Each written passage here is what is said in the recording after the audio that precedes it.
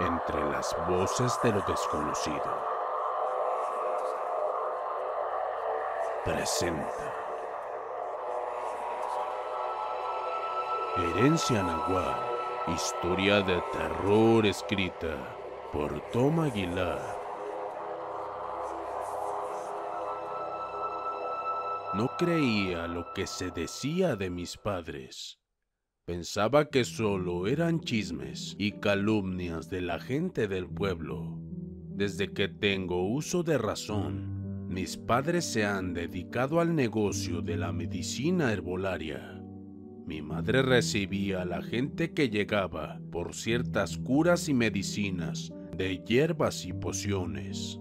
Mi papá salía a buscar las hierbas y raíces que mi madre utilizaba para toda esa clase de cosas. Mucha gente se curó. Pude ver gente que llegaba y le agradecía a mi madre la gran ayuda que ella les daba. A mí, mis padres me tenían al margen de todo eso. Ellos deseaban que me fuera bien en la vida, siendo algún profesional, y yo la verdad no quería ser como ellos o dedicarme a eso. En la escuela me gritaban hijo de brujo, me decían el nahualito y una serie de más humillaciones. Como odié mi vida y la vida que me daban mis padres, a pesar de que no pasé hambres o penurias, no me era grato vivir con ellos por las tantas burlas y cosas que decían de ellos. Pasaron los años y llegué a la secundaria con casi 14 años de edad. Y aún así seguían las burlas, aunque ya no me importaba mucho nada de lo que dijeran de mis padres o mis hermanos. Pero esta vez alguien me propuso que investigara a mis padres, que los espiara y me diera cuenta qué era a lo que verdaderamente ellos se dedicaban. La duda había sido sembrada y no desde ahora, sino desde hace ya mucho tiempo tenía esa intención, pero por alguna u otra razón no había podido concretar mis planes de ver realmente a lo que mis padres se dedicaban. La gente decía que mis padres eran nahuales, que llegado a un momento de alguna curación que tenían con alguna persona, ellos, principalmente mi madre, tomaba una forma verdaderamente increíble de creer que solamente personas que estaban ahí podrían decir la verdad. Las que ya habían presenciado ese hecho podrían afirmar que verdaderamente mis padres eran nahuales y ellos presenciaron cómo se transformaban en animales. Lo extraordinario de esto es que en el pueblo no había una sola persona que los hubiera visto. Solo hacían esto con personas que llegaban de fuera. Creo que porque sabían que sería un desastre si los del pueblo se dieran cuenta de sus poderes. Aunque mucha información se filtró de estas mismas personas que salían de mi casa. Una noche, decidí espiar una sesión que tuvieron con una pareja que venía de lejos. Me di cuenta que pasaría esto porque esas personas jamás las había visto por aquí y como decían que solo hacían esto con personas que no fueran del pueblo, entonces creí que sería el momento adecuado. Verdaderamente, no conocía muy bien el cuarto por dentro, pero sabía que había un altar con una santa muerte enorme y unos que otros santos también. No puedo decirles cuáles, porque no los conozco. Solo sé que me impactó la estatua de la muerte. Era enorme, y esa fue una de las causas de no entrar ahí, ya que me daba miedo. Entonces, atrás del altar había un poco de espacio donde yo fácilmente podría estar ahí parado y poder observar todo lo que ahí pasaba. Y si algo pasara, que se dieran cuenta de mi presencia, por ejemplo, yo podría esconderme debajo de la mesa. Yo solo esperaba la visita de alguien desconocido para poder esconderme antes de que ellos entraran y así lo hice. Al ver llegar a esa pareja a mi casa, rápidamente me escabullí al cuarto sin ser visto. Fui y me acomodé en el lugar donde ya previamente sabía que podría estar y esperé. Les aseguro que en ningún momento observé la imagen de la muerte. Solo entré inmediatamente me escondí detrás del altar. Estaba oscuro, solo las luces de las tantas veladoras encendidas hacían posible ver lo que ahí podría suceder. Estuve no sé cuánto tiempo esperando. El sudor escurría por mi frente. Sentía mucho calor en ese momento, tal vez por el nerviosismo y el miedo de ser descubierto.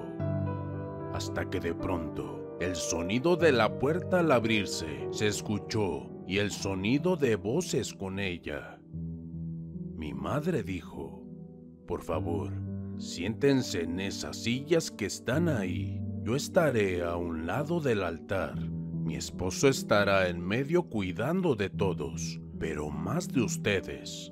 Como les vuelvo a repetir, esto que van a presenciar es muy fuerte. En el pueblo. No hay nadie, absolutamente nadie, que haya presenciado esto. Y todas las personas que han venido a verme para remediar algún problema de salud, financiero o demás problemas, les he suplicado que se mantengan en esos lugares, que no se levanten por nada, por nada del mundo, que no traten de salir, que si no están seguros de aguantar lo que van a ver, tienen aún la oportunidad de salir de aquí antes de que suceda porque cuando mi esposo cierre esa puerta, no habrá marcha atrás.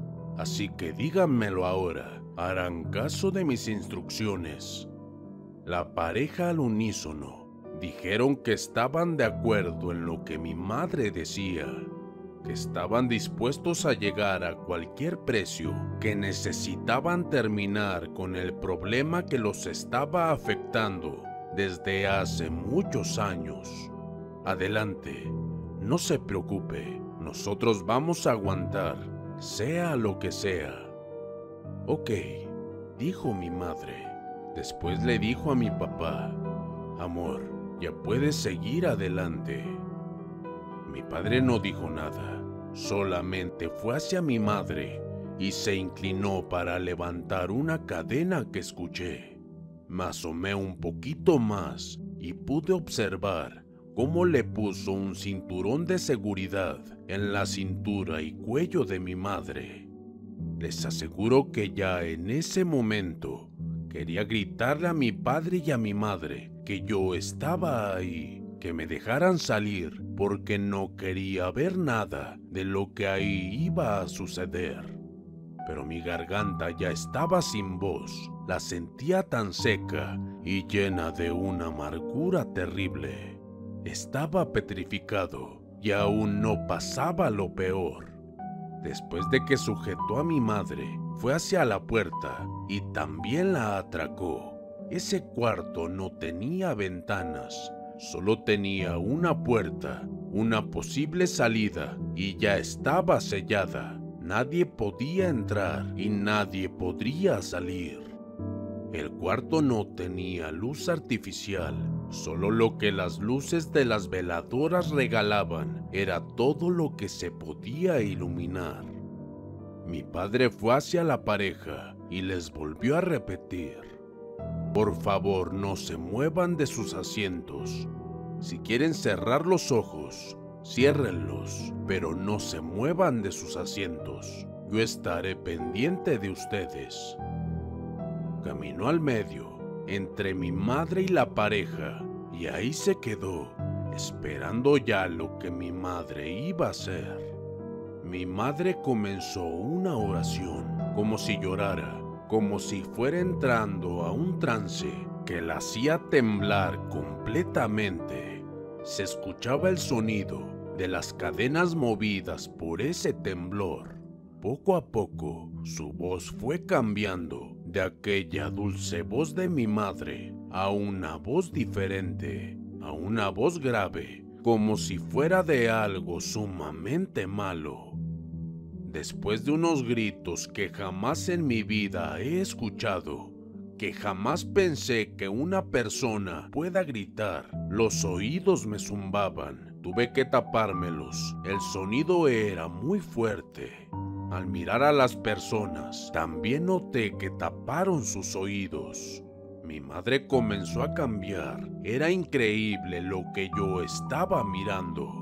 Mi madre se estaba convirtiendo en algo, en algo que aún no se veía muy definido. Ella cayó en el suelo. Mi padre la miraba con unos ojos muy abiertos, como si tuviera mucho miedo. Creo que él aún tenía miedo, a pesar de hacer esto todos los días, o no sabría cuántas.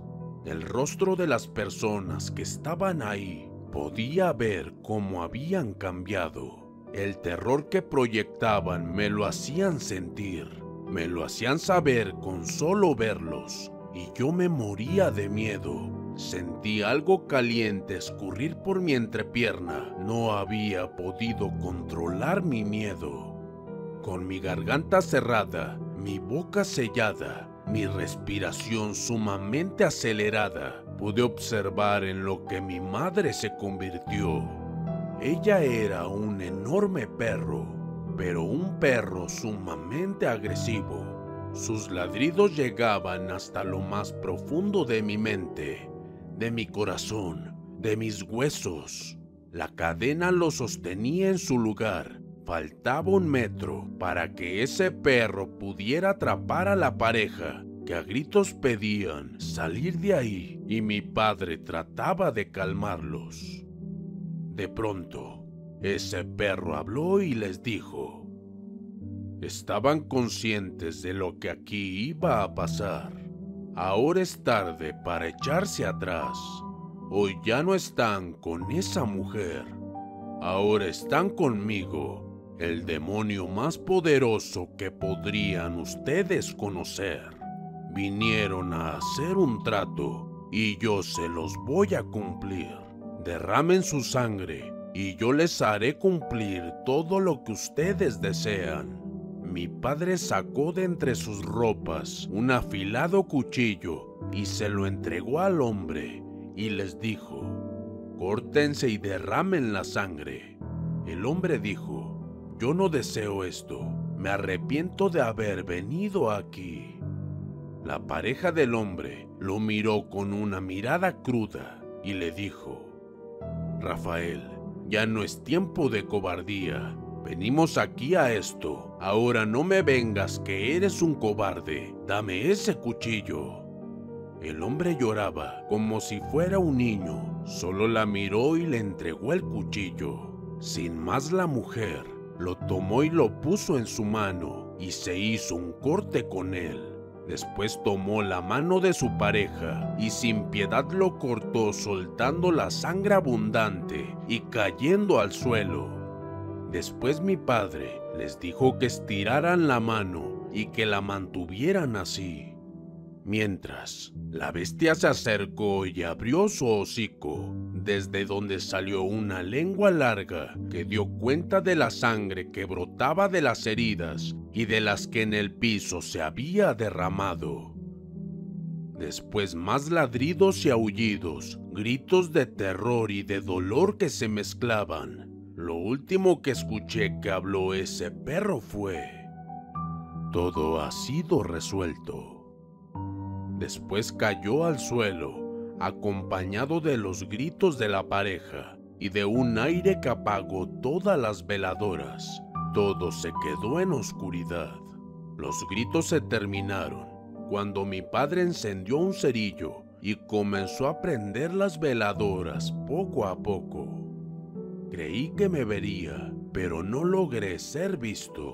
Después con un trapo fue a ver a mi madre que ya había vuelto a la normalidad y la cual tapó ya que estaba desnuda. La pareja estaba atónita, espantada y aún sin creer lo que ahí había pasado. Mi padre ayudó a mi mamá a levantarse del suelo, le quitó los cinturones y después la sentó en una silla. Después mi madre dijo, lo que aquí pasó, aquí se queda. No quiero decirles lo que podría pasar si ustedes van allá afuera a decir. La pareja aún con la voz temblando dijo, No señora, prometemos jamás decir nada de lo que aquí ha sucedido. Creemos sinceramente que nos ha ayudado y que saldremos pronto de nuestro problema. Ahora ya pueden salir. Mi esposo les dirá lo que tienen que hacer. Gracias. Que tengan una buena vida. Mi padre no dijo nada, solo se fue hacia la puerta, abrió y salió con la pareja. La puerta se quedó semiabierta, yo esperando a que mi madre saliera para yo también salir de ahí inmediatamente. No aguantaba más, pero mi madre volvió a hablar. Hijo, ¿crees que no sabía que estabas aquí? ¿Crees que no sé lo que has pasado todo este tiempo? Yo sé todo, hijo, porque fui como tú. Mi madre también fue así, y tú ahora sé que también serás así. Yo sin palabras, aún no dije nada, solo observé cómo mi madre se levantó de la silla y salió por esa puerta y antes de irse dijo, Cierras la puerta después de salir, hijo. La realidad me alcanzó. Todo era verdad y aún peor.